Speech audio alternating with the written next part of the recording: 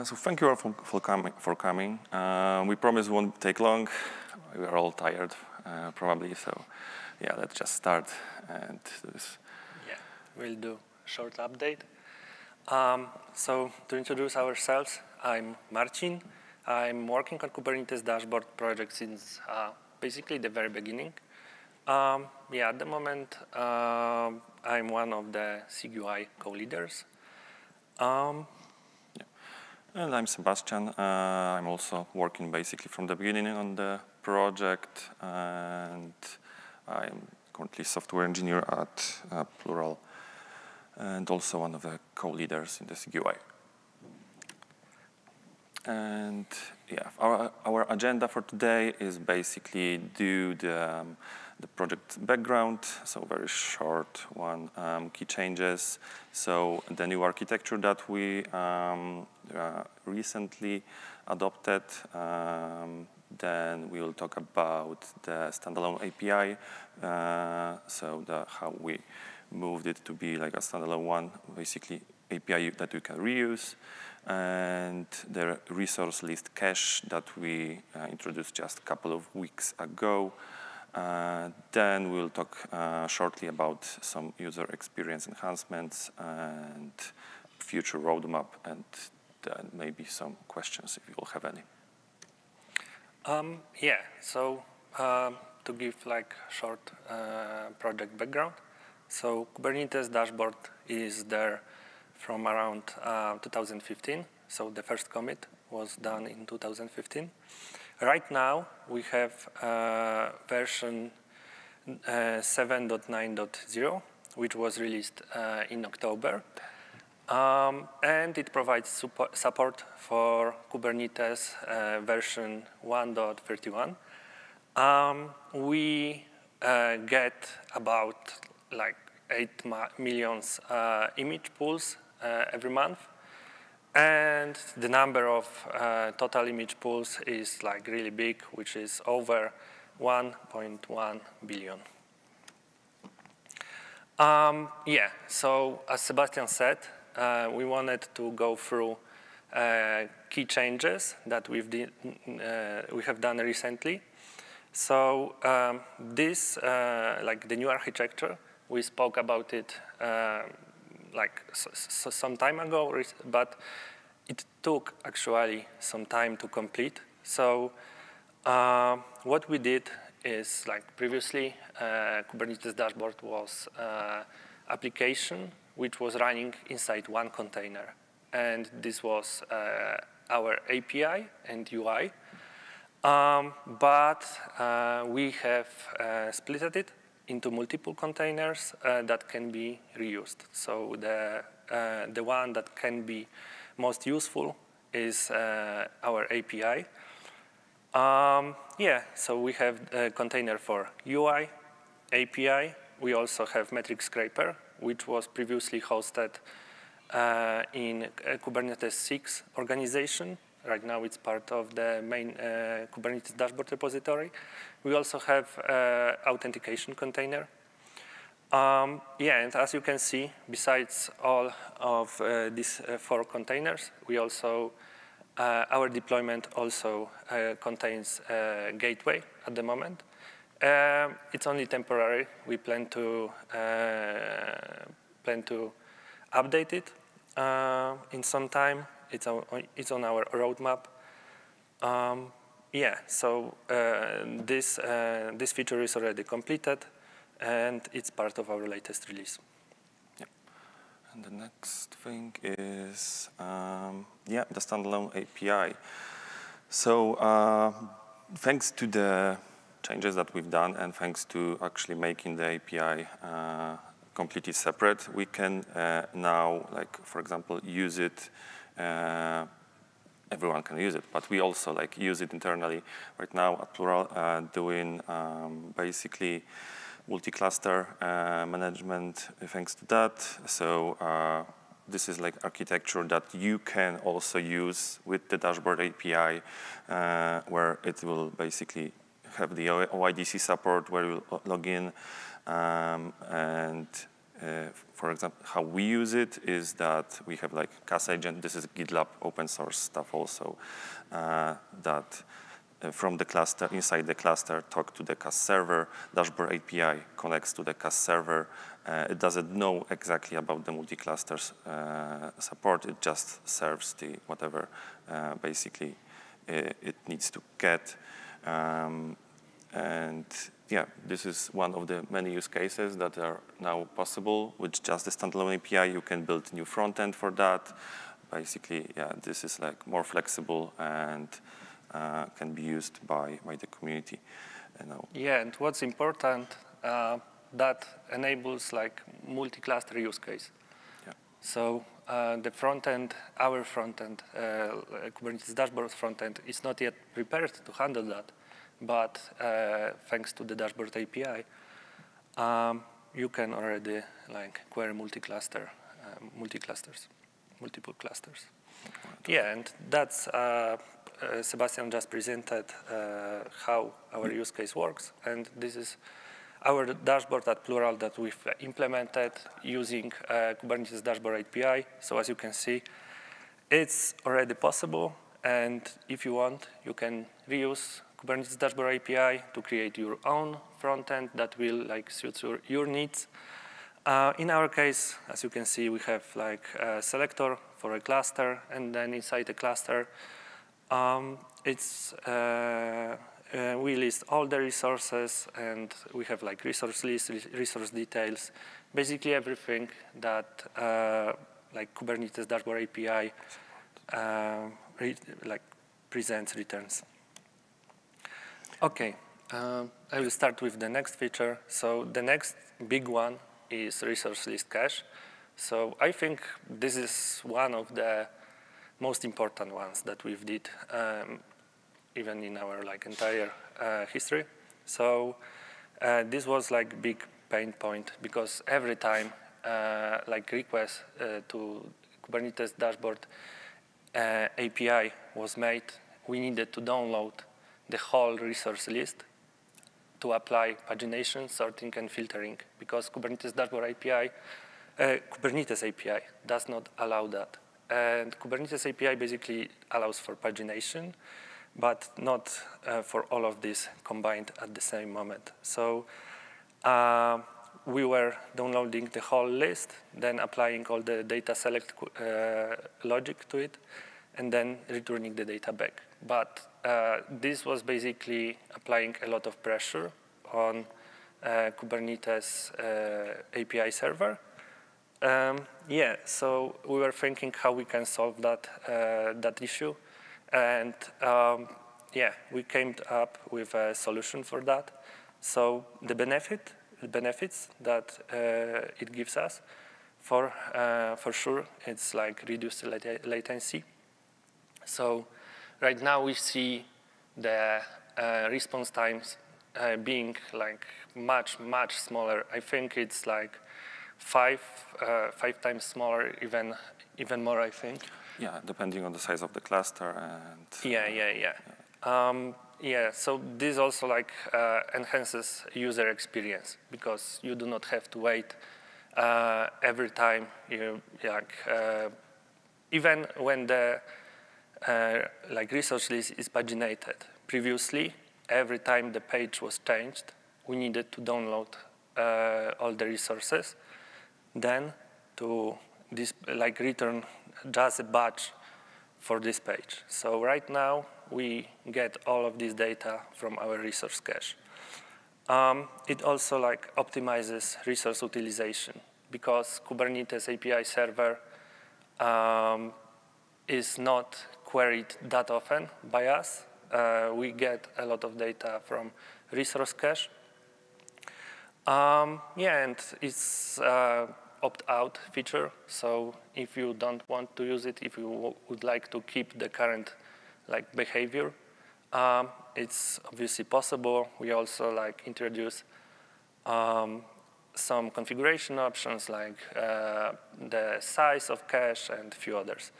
So the trade-offs that we see is like using cache and network uh, can result in slightly stale data sometimes.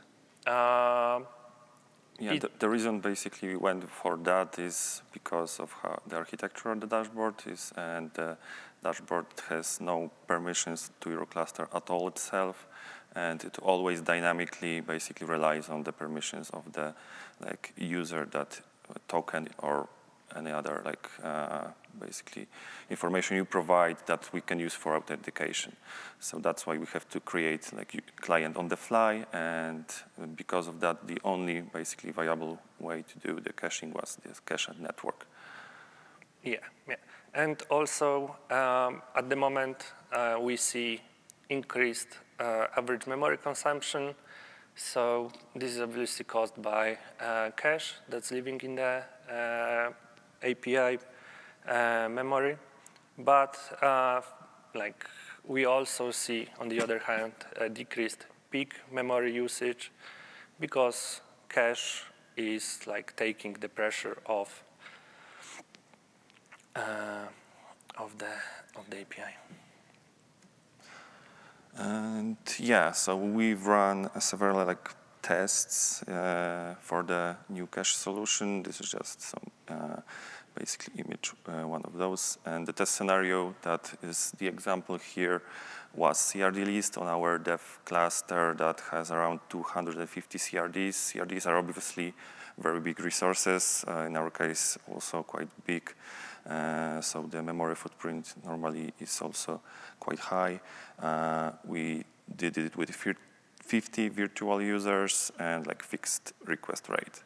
So uh, without cache, like average response time, as you can see, was 36 seconds. That's because uh, basically how dashboard previously worked without cache is that every request, if it's done in parallel, it will uh, in parallel call the Kubernetes API server. so the pressure on the API server was enormous, and it was struggle to actually return the data to the dashboard itself. But right now, uh, the way we optimize the cache also is that the first request to the dashboard will uh, make the request to the API server. Uh, the other requests that are done in parallel to the dashboard will wait. And once the API server actually returns the data and data is cached, it will return it from cache. So there is basically only one request there. And yeah, thanks to that, the, the response times are significantly uh, better, and also amount of requests that you can actually do uh, in, in like the test time that we done is also so uh, so much bigger. And this is like very simplified architecture of the cache. Uh, how we do that is um, we initialize cache based on the um, query, so like path that user wants to uh, get. We only do that for lists uh, right now. Probably like uh, getting single objects is not that uh, like doesn't require really really caching. Uh, lists do obviously, so we use the uh, like the path as the cache key, plus um, um, we also what else? What there? Um, um, label selector, yeah. Uh, field oh, selector. List so options. everything that's part of the list options, request. right? Yeah, and we do like a, a SHA of all of that. This is our key uh, in the end. And before we actually allow the user to get the data from the cache, we do the self-subject access review for this. Uh, and if the API server says that it is allowed, the user is allowed to get the data, then we only return from cache. So this is uh, basically the only way to, to get the data from cache. Otherwise, it will like try to get it from the API. Uh, but if it says it's denied, obviously we'll just return like uh, denied error. And uh, the API also, like we said, supports um, basically like multi-cluster. And the way we had to deal, uh, like make cache support this kind of like uh, multi-cluster uh, caching was we've had to add some kind of information to the key itself that would allow us to ensure that the data being like asked by the, the user will be returned like from the correct cache saved for the correct cluster. And the way we uh, we thought this will be the best is by using some kind of external API that you basically create and you give us some kind of unique ID based uh, on the token that you uh, already provided, uh, so the, the, user token, authorization token. You give us some kind of unique ID. This ID uh, has to be unique per cluster, and like you have control. Uh, basically, we trust that your API will be uh, can be trusted, of course, and will like give us a unique ID that we can save, like together with the key, share everything, and then use as key cache. And yeah, this allows us to work in a multi-cluster environment with cache also. Yeah, and uh, besides that, we've added a couple of uh, user experience enhancements. So uh, as you can see, like to go shortly, uh, quickly to, through the list, ingress path, uh, paths are rendered as links in UI. Uh, About page was removed and it's now replaced by footer that's visible across the application. Um, default resource auto refresh time interval was uh, increased to 10 seconds. We've added a username to user info panel. Um, also, like uh, we've added uh, delete, uh, support for de delete propagation policy, which was, I think, requested multiple times. Also, um, owner ref information uh, is now part of the object meta tab and uh, all namespaces can now be hidden uh, in namespace drop-down list. Mm, besides that, um, there is like one uh, security improvement that we wanted to mention. So right now, setting safe relies on user permissions instead of dashboard permissions, which is uh, important. Um, and other than that, we have improved pod container status logic to keep it uh, with in sync with kubectl because otherwise, uh, yeah, it uh, like uh, can be confusing. Uh, we have rewritten uh, setting logic during architecture changes and also added a small script to index HTML to dynamically generate tags. Um, and here's our roadmap. So as you can see, we've already are past splitting uh, in application into separate modules. Uh, also, we've uh, finished adding cache. And the thing that we have partly done is adding node cordon and drain functionality. Partly done means that this is already added to our API. We just need to add UI for that. Um, the next things that we want to do eh, are like uh, Angular material had breaking changes. And to follow the latest version, we need to do the update, which will take probably a while. Perhaps uh, uh, also when doing material update, we will be able to create design, design system. So that's the change that we want to do to abstract components that we that we are using. So when there will when and if will want to change something in front end in the future, it will be easier to do.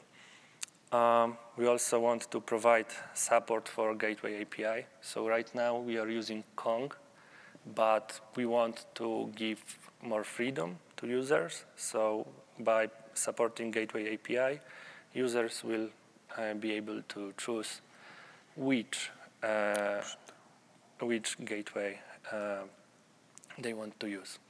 Do you want that? Yeah, I can go. And next parts are added first party support for OIDC, uh, which is also something that was a long time uh, requested. Uh, dashboard supports technically like OIDC through reverse proxy, of course, but adding first party support is always uh, like better and should be easier to use uh, for the users.